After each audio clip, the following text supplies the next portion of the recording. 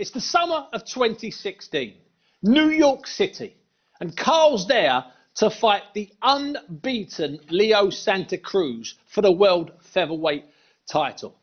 And also on the undercard is a young man having his sixth contest. That man is Josh Taylor, and I'm delighted to say that Josh joins us now.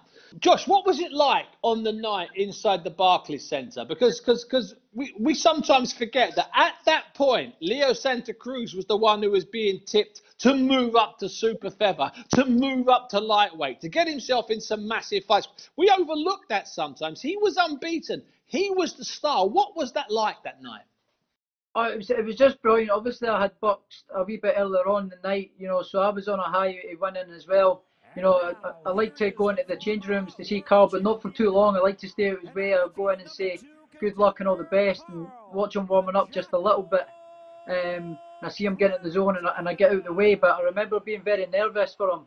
Um, more nervous for Carl than I was for myself, you know, because I wanted them to see him do it. I saw the, the hard work that I'd put in and the preparation that I'd put in. So I was very, very nervous for him, and you know, and, and I, I was more nervous for him than I was myself. But the, the atmosphere in the place was just electric. You know, um, I was just totally zoned into the whole fight, so I never had any, I never got any um, pictures or videos of of the night. I was just uh, totally in the zone and, and soaking up the moment. And uh, you know, I remember watching the fight with such intent, and I scored it. I think Carl by, by about three rounds. Um, by three rounds, I, I had him winning it, and you know, my my score uh, prediction was right, and I remember just the crowd going nuts, and you know, and, and like seeing everybody after it, and you know, it's just a a great, great experience. You know, one that I'll, I'll never forget. It's definitely the best um, boxing experience um, I've had um, to date, and uh, it was brilliant. You know, I'll never forget that. He's the champion. He's younger than you. He's unbeaten in 33 fights. Carl, it was a big risk, and, and, and no disrespect, I can see why most of the Americans, especially, thought that you were there to lose. Yeah, look, and I don't know if it was a big risk because I'd, I'd, I'd unified at, the, at that division. I'd, I'd beaten Hugo Cazares in a final eliminator for Leo's WBC Super Bantamweight title um, at well Super Bantamweight, and and he didn't want to fight me. And at all these fights, so the the Santa Cruz fight, the Quig fight, they all came off the back of me being dropped in El Paso when, when Josh made his debut. Um, so I don't, I don't, I didn't see it as a risk. Really didn't see it as a risk. I, I, I was going over there. He had boxed lower than me. He was like originally a, a bantamweight starting at his career. Although he's a taller guy, sure. I felt like I was a str- I was a stronger fighter. And what did it feel like on the night, strength wise? He didn't feel strong. It just his, his output was a lot. It was great, and, and I knew I needed to kind of match his output and, and not let him overwhelm me. But he wasn't he wasn't physically very very strong. Could you feel it? Could you feel the fight taking a toll on you, or, or taking a toll on your strength and on your stamina? Were you wary of that, knowing full well of his his, his punch output and knowing that this guy can do 12, he likes 12, he can go that long? Yeah, look, I was really, really tired in the fight, and, and after the second half, it was just kind of you're on autopilot, and you're just it was up, but it was important to not let him overwhelm me or or out punch me. And I know he, he threw more punches than me, but I, I still punched with him. And it's probably the most punches I ever threw myself in a fight. Um, and it was important to it was important to be able to, to try to try my best to to match his output. And Carl, this is this is the the ninth round, the ninth round here. You know, I, I I remember having you, in my opinion, a good a good three or four rounds up, but wondering sometimes maybe how the judges got it, and also wondering if we were going to see a mad surge from Santa Cruz. We say that as he puts you under a bit of pressure on the ropes. Yeah, um, yeah, I was, I was waiting, but he was he was still there was a lot of pressure. He was applying a lot of pressure the whole fight, so I don't know how much he could have applied and and uh, again, I was just kind of meeting him head on and, and and trying to work with him and, and you know seemingly landing landing the better shots. I think this may have been around. I can't remember exactly, but he had a he had his best round. I think number eight, and I think it was important for me then. I think I won this round. I can't remember, but it was important for me to have a strong round just just straight after. Yeah. You stand up there, Carl, to come out for the 12th and final round, seconds before the bell, and, and you can see it there. You maybe you saw it at the time, but everybody is standing, perhaps uh, other than just one or two officials at ringside. What must that? What, what must? I mean, I'm asking you as a fan. What? And I've been at enough big fights. What must that be like, Carl? What is that like when it's your last round in a world title fight you're winning? Just what's what's that like? I don't know, Steve. I, you know, I, don't want to. I don't want to make something up here, but I, I, don't, I don't really know. It's just like win, win the round. Don't get knocked out. I, I suppose like I felt like I was in front. I knew it was close, but I felt like I was doing enough to win the fight. So I think I was probably just thinking, don't get, don't get chinned here. So you're focused. You're not milking it. You're not doing a rocky. You're not playing to the cheap seats. You just want to get through this fight. Doesn't matter where it is. It doesn't matter. Just get through this three minutes and don't get chinned. Yeah, look, just get it, get it done, get it finished. Wait on the final bell, and um, I suppose at this stage we're a minute and a half in this round to go, and yeah, that's probably the only thing that's on my mind. Just try and stay with him. Again, don't let him overwhelm me. That was a good shot landed there, and um, you know, just just stay in there really. And I, and I knew I knew at the end like I'd done enough. I felt like I'd done enough, but it was you're always being away from home. You don't know what the judges are going to see, but I felt like I had I had done enough. Could you sense any desperation in in, in um, as we're going into this, can you sense any, any, desperation in Santa Cruz's work? Can you sense that he senses that he's losing this fight or lost this fight, and that this is his big chance, the last three minutes? Did you get that sense? No, I don't think he was desperate because I think you know the pressure that he's applying in the 12th round was the same the whole way through the fight, so it didn't feel it didn't really feel any different to me. Um, and he wasn't a, he wasn't complaining to the referee. He's not one of them types of fighters. He just he just tries to fight, and I knew like I expected that before the fight that that was going to be the case. It's a great round. This I'd forgotten how good this round is. To be honest with you, Carl, this is a great last round. A great three minutes. There was a there was a round, and it's, it's probably this one was. It didn't win it, but it was voted round of the year for that year, um, Ring Magazine and stuff. But it was a it was a very good round. Like I'm just I'm just square on. Like everything goes out the window here. Like it's real novice stuff. The fight was unbelievable. But, the pace of the fight was unbelievable, wasn't it? I was just watching it there. That last round was just mental. Yeah, it was a uh, what a fight to watch. Brilliant. You, know it's a special fight when everything goes out the window in the last 20 seconds, and as you say, you're both standing square on and you just trade. There was a moment there when Leo Santa Cruz's father walks past you, and he know he knows his son's blown it. He knows in the corner, and he knows when he walks away. I I think he did. Yeah, the dad never. I don't think the dad really ever liked me to be honest. Um, but the brothers did. The brothers did. Um, but I think I think they knew that he lost. I, I think Santa Cruz knows he's lost. Yeah and Tom Schreck seeing it 117 to 111 in favor of the winner by majority decision. And the new WBA featherweight champion of the world, the great Irish champion, Carl the Jackal Frampton. The great Irish champion, Carl. That's not a bad label. No, it was good. That and I think see see the scorecards being read out, 117, yeah. 111. I thought that was probably a bit wide, but I knew that it couldn't have been for him. Like there's no way he's won it by that amount. So once I heard that, I kind of knew in my head that that I that I've won it here. And Barry was running about. Barry was saying stuff like, um, I think I remember him saying Showtime having four rounds up or something like that. And Shane says, Showtime, like, let's see what the judges say here. You know what I mean? So um, I think he was a bit worried that Barry was going to have it in my head that I've won and maybe I haven't won because of, you know, who knows what way the scoring's going to be. But yeah. No, you're right. Once I heard that score, which was quite wide, you get the sense then, you know, there's, there's, there, it's okay now. It's okay because they're not Yeah. going to give it to Santa Cruz by six or seven rounds under any circumstances. Uh, Josh, j- just finally, you fought on the undercard.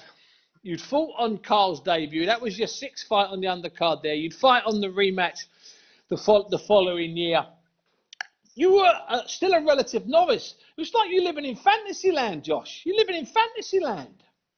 I know, yeah. Was, uh, I couldn't have had a, a better start to my career. You know, my my debut was in El Paso, and that was on a big world title fight. You know, then then in New York, and then and then in Vegas again for the rematch. So yeah, I had, I had an absolutely cracking start to my to my career, and you know, it's uh, it's all due to Carl being involved in the big fight. So I was just thankful to be part of it and be there and and watch and learn and how how he done things. So I I had a I had a sort of great apprenticeship, so to speak, to uh, watching and learning from Carl. It was a you couldn't have bought that experience. So yeah, it was it was brilliant. It was brilliant. Hi, good, Steve? Just before Josh, just just before Josh goes, how good is it going to be for me to be able to say that the undisputed light welterweight champion in the world was on my undercard and he made his debut on my undercard and everything else? Like that's a proud moment for me. You know what I mean? So um, there's no doubt he's going to go on and, and beat Ramirez. I know it. Yeah, thanks, Carl. Appreciate it. Thank you. Josh Taylor, thanks so much for your time this evening. Thank you, Josh. No worries. Thanks for having me. Thanks. Thanks, Josh. Now, it wasn't just the Irish Americans who were attracted to the fight. We saw Rory McIlroy at ringside, but another man was ringside. A man that brings his camera and a man that brings, well, just about everything, really. Colin Murray. So, Colin, what persuaded you to get on a plane and go and watch Carl Frampton win a world title with about six or seven or eight thousand um, New Yorkers from the East Coast on a glorious night in New York City? I just can't imagine what possibly inspired you to do it. it was brilliant. Mate, my brother lives out in the states, so it's perfect. So we he, he travels all the way back for Northern Ireland games, and then so it was brilliant to, to go over that side and go to New York. From a fan's point of view, we turned up and uh, got our tickets, and then we're given these wristbands for a backstage bar, and I was my brother goes, "Let's go there," and I'm like, "No, it's they're always rubbish. It'll just be pretentious nonsense. Let's go to our seats, watch the undercard, enjoy the night." oh, go on, let's go in. I never get to go to these. All right, we'll go in for five minutes.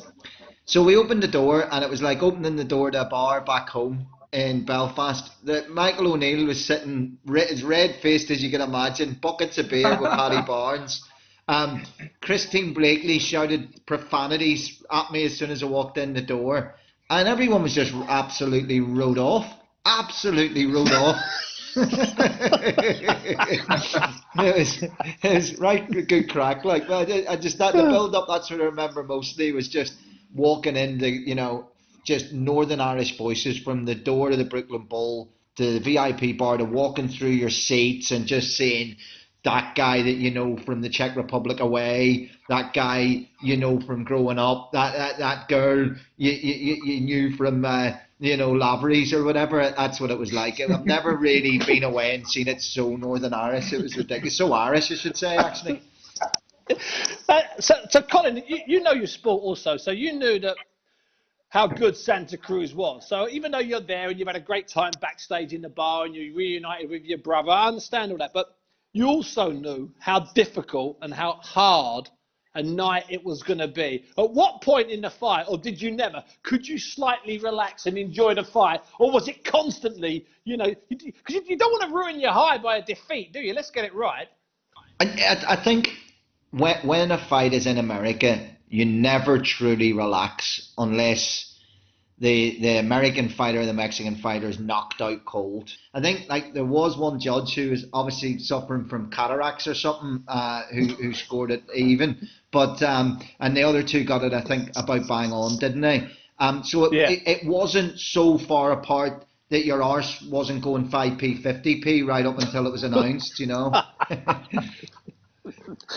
Cole, when, when in that last round, the last 30 or 40 seconds, I know you're standing up. I know you and your brother are standing up, living every single punch.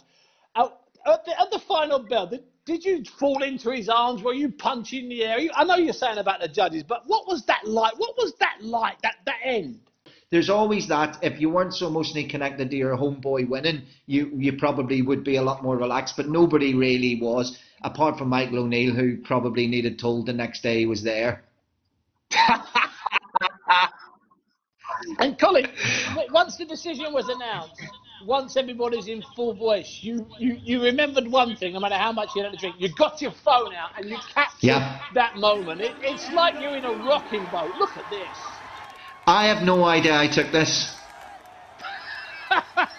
That's what is that? Was that from my Twitter account?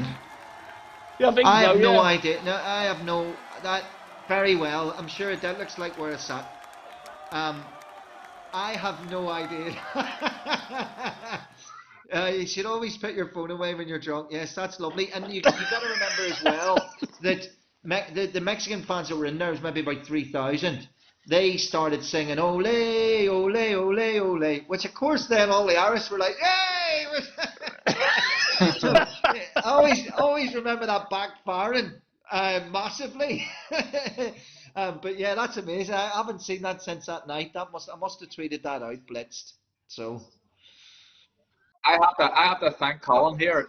Let me let me thank him before we go, Steve, because it took me a long time to get back to the hotel. When we got back to the hotel, there was the bar was closed and I was wrecked anyway, so I was a bit of a it was a bit of a boring one for me after the fight. But Colin had bought a few beers back, and the only reason I had a bottle of beer after the greatest win of my life was because of Colin Murray. So I have to thank See? him for it. But we made we made up for it the next day, and I had a we had an unbelievable party the next day. proper blitzer, and it's funny that I always remember going back to the hotel because I went back not like as in right Carl's Carl's there, Carl's family is there, my mates were staying there, so uh, Ruth and all them. So we went back there, and there was a very big divide, Bunsey, between the ones who'd been at the fight and didn't have to get punched or watch their family members getting punched, and you know the actual family, which was relief and like just sh- shattered. I remember just two things he did to me after the fight. One, he hugged me leaving the ring, which I didn't want, right? we all kind of, I think Nesbitt was right there as well. But anyway, he, he, I remember you hugging down the line, and I'm like, well, I can't say no, but I don't really want covered in all the sweat. It wasn't really blood, but I remember being like disgusted by it. That's the truth. uh, and then when we get back, was like there was the ones that were all up for the party, and then I think it was just a lot of relief and happiness in the family, and like your, I remember you had a beer, slice of pizza, and then your kid, and you went you went straight to bed. So you're, you're right, you were born, but always remember sitting there, and your family were there, and then we were all a bit more party like, and then your wife was there, and she hates me, so that was awkward, and then you came back. and stars. Anyway, so then you came back, just went straight. And I always think that's that's it. I, I love the fact I got to see the first bit of you off camera after the interviews when you left the ring, and you just the happiness, the elation, um, was like really. I felt like it was a, an invasion of privacy almost. If you were that close to it, to see what that meant was unbelievable. As soon as the camera wasn't following you, you know, and then getting back and just seeing the relief and just going to bed, like there were two really special moments. I think. Colin, thanks so much for those memories. They're proper memories, and I know exactly what you mean about glimpsing a fighter when the cameras are off. That does feel like a privilege. Colin, thanks so much for your time.